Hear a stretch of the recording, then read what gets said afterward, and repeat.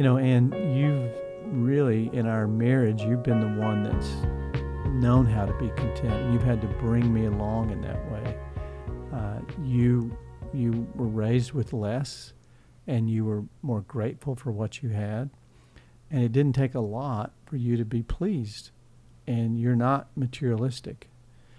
Uh, and so you taught us some of the practices of things that we could do to, to save money. Well, I know that we we went through some really tough times, and then when I started taking over paying the bills, it, I was very aware of our need to cut expenses, and so I tried to do everything possible. One thing was, um, we you know, we started eating leftovers. We didn't have to have a new new meal every evening. Leftovers. Um, I tried to get creative with those. Tried to disguise them for you. I'd even buy in quantity things that were on clearance at the grocery store, freeze things, and um, try to come up with ways to use what we had on hand. Um, when it comes to entertainment, we've never been big spenders on entertainment, really.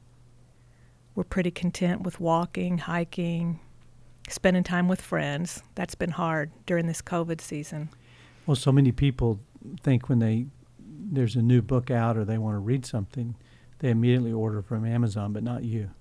Well, what we do is we put books we want to read in our cart, our shopping cart, and then I find them at the library. Right. You go to the library, Mhm. and, and, and if they don't have them, they'll sometimes order them. And so Mhm. we save a lot of money just not ordering uh, books. That's well, we a- just yeah, I get them through the interlibrary loans.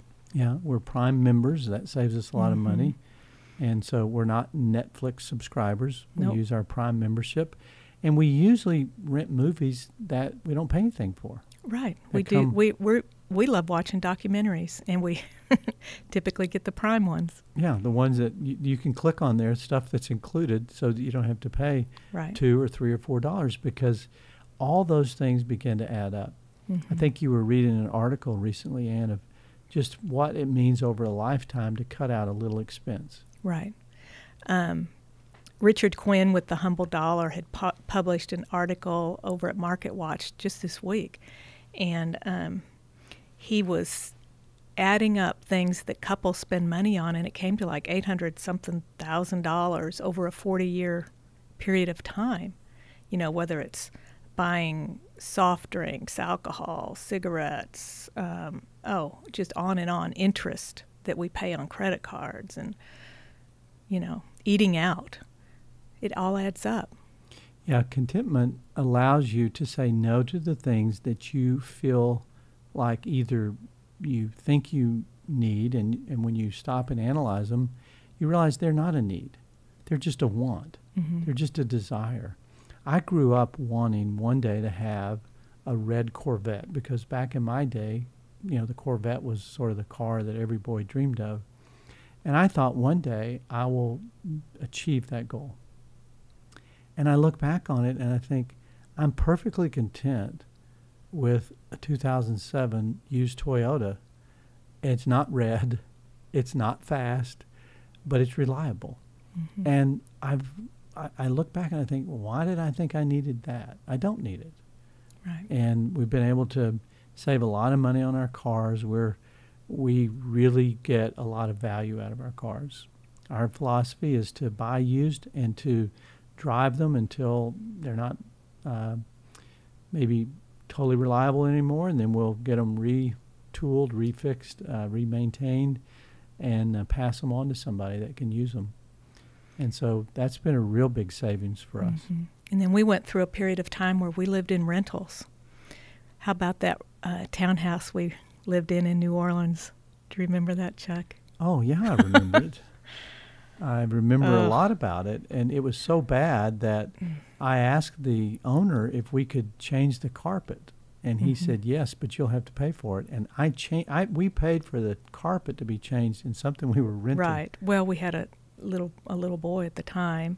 The one thing I did love about the place was that swimming pool. I was pregnant in the heat of New Orleans, and our our two year old and I spent hours in that pool. I remember we rented a place one time, uh, a little duplex, And our first electric bill Yeah. was three hundred dollars because the air Mhm. conditioning unit was too small for the Texas heat. No And- trees. We had no trees. And you would go to the mall and push the boys around in a stroller just to cool off. Because Yeah. our house, we couldn't run it. We couldn't afford to run our air conditioning. Mhm. And so you figured out a way to get around that. And then you've always been great about buying uh, used clothing and shopping for deals.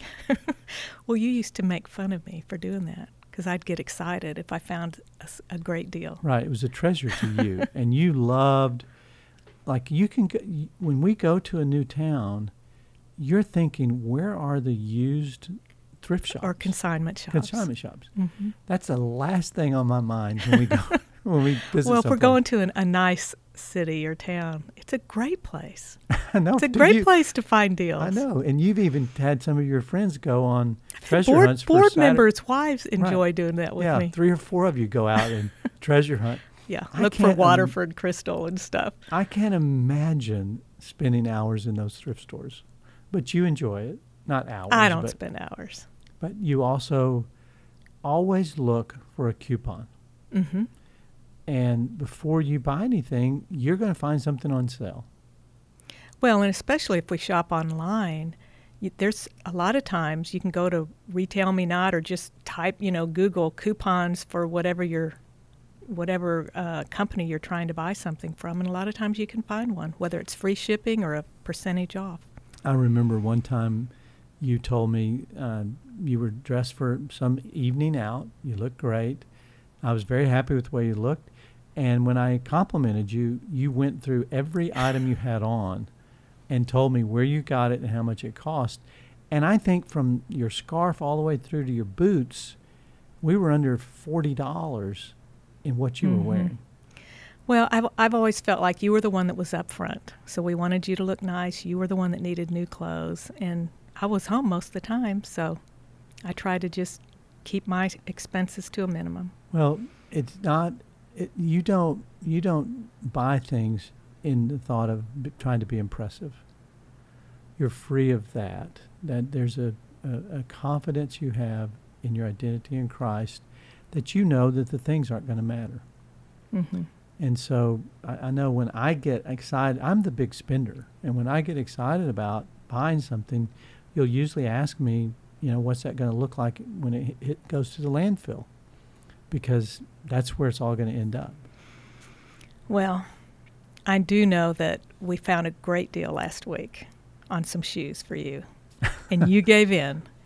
You gave Well- in. I had tried on some Hokas uh, several weeks ago just because my feet were hurting and they didn't have my size. So when I found some on sale for you, that was pretty exciting. Yeah, they were. They they were they were sixty percent off, and that meant that nobody else wanted them. Yeah, And color, color, the color wasn't else. great, but we wanted the deal. Mhm. So we didn't get the color we wanted, but we got a great pair of shoes because we use them walking a lot.